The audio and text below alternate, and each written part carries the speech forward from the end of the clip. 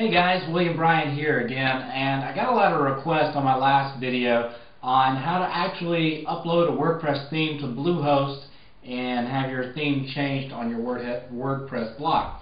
So here's the blog we're going to be changing. This is simplempg.com, one of my websites, one of my blogs. And what we're going to be doing, you see the default theme we have here. I'm going to show you how to actually get another theme, upload it to, to Bluehost, and have your theme changed on your site. We're going to go through that process. So that's what I'm going to show you right now. First off, you want to go and find a theme.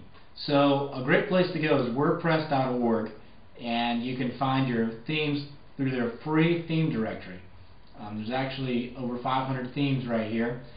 And I just scrolled down the first page, found one I liked called Arrows, and you can hit the download link right here or you can actually click on the title and get a full preview so this is what our blog will look like when we're done. So you can hit the download link, we'll download it, and once you download it you need to go to your website cPanel. Now how do you get to the cPanel? Well, just type in your main web address name, so my main web address with Bluehost is wpbryant.com semicolon 2082. That is the port that will get you into the cPanel. Now it'll pop you up with a request for a username and password. Mine's already memorized from the millions of times I log in. So once you log in to your cPanel, you're going to see a bunch of different sections here. The one we want to get to is files. Now there's a lot of different ways to get into the back-end file manager of your website. You can get in through FTP. Um, you can get in through some other secure methods, but the easiest, quickest way that I get in um, is through going through the cPanel and just clicking on File Manager. Now when you click on File Manager, it'll give you some options here. If you've got a bunch of different websites, like I do, then you need to pick the one that you want to get into. So the one we're going to go to is simplempg.com. Hit go. It's going to open up a new window and here you're going to see if, if this is only WordPress that is installed here, this is basically what it's going to look like. So how do we upload a theme? Now, we just downloaded our theme from WordPress, and the way we upload it to our website, once you've gone into the file manager here, double click on WP Content.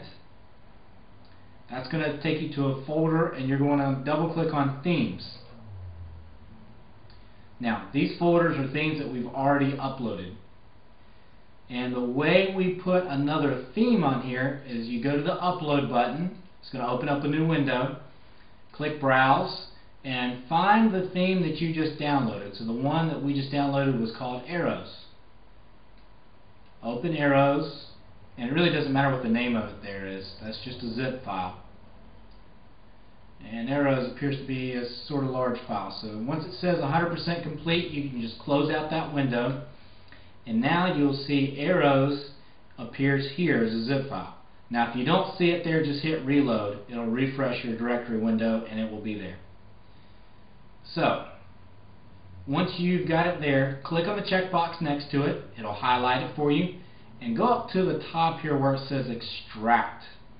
Click extract and extract files. It'll give you a progress and then once it's done, that's great. Hit close. Now, that's all you have to do to upload a theme using Bluehost to your WordPress blog. So, this is our website I told you we were going to change.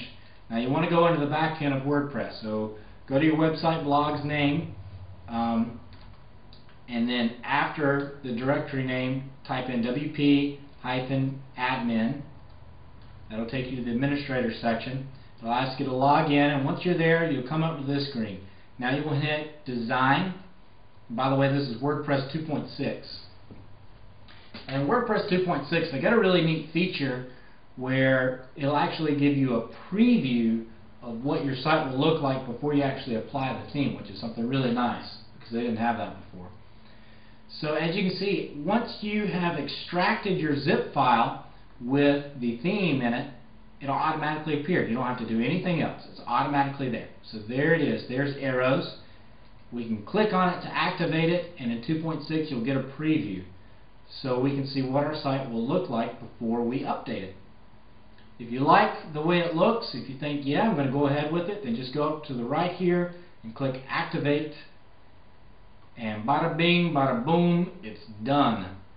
Now we can go back and look at our site, and there it is. Our site now has the brand new theme on it, and that's all we had to do. Thank you guys for watching. If you have any other questions, please put them in the comments. Um, please put anything else you would like to know in the comments. I'm happy to show you guys any other thing you'd like to know. And if you'd like to know more about Bluehost, click on the Bluehost link over in the sidebar. Again, thank you guys for watching. This has been William Bryant. God bless.